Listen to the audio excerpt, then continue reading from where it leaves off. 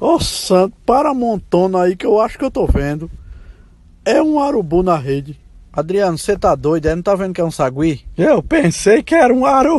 arubu. Eu pensei.